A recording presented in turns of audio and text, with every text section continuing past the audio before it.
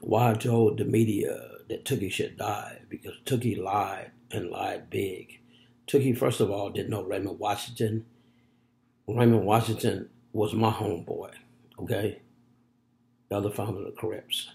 Tookie never knew Raymond Washington, okay? Tookie was a third or fifth generation Crip, and he had this thing to where he wished he would have knew Raymond Washington, but he never knew Raymond Washington because he was from the West Side, and Raymond Washington never would have ran with a person on the West Side because Raymond Washington was institutionalized.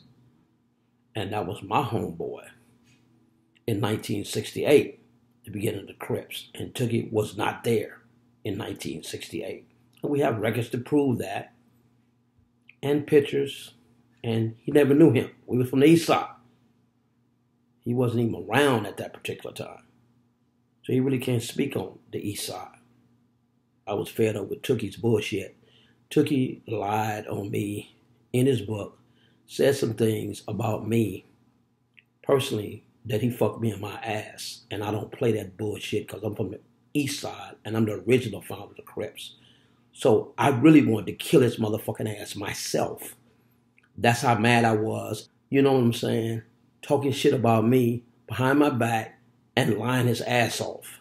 I'm the one that put him down on when he had a little 13 inch arm, taught him my program, taught him how to get big, and tried to save his life and introduce him to people that could be making him a bodybuilder. I tried to help him. I got him off every drug it was. I never did drugs. I never drank, never smoked, never got high in my life. I'm a real OG. We from the east side. You know what I'm saying? We from this, the E with the C. Raymond Washington and Jimel Barnes, 1968 the real founders of the Crips. He disrespected me and he disrespected Raymond's history. Period. So therefore, since I couldn't go to San Quentin and get him, you know, with these dogs, you know what I'm saying? Then I knew what to tell him. He needed that.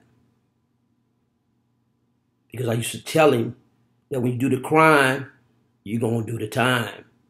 Consequences. Don't do nothing stupid.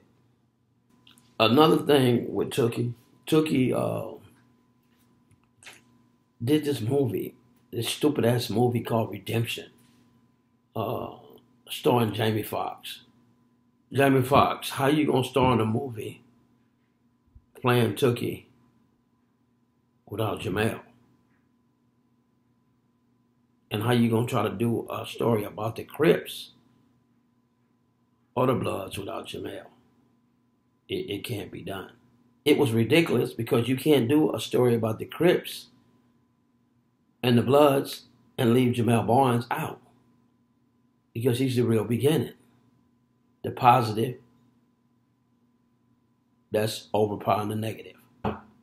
So therefore, y'all were trying to steal my history. So therefore, that's the reason why I went off.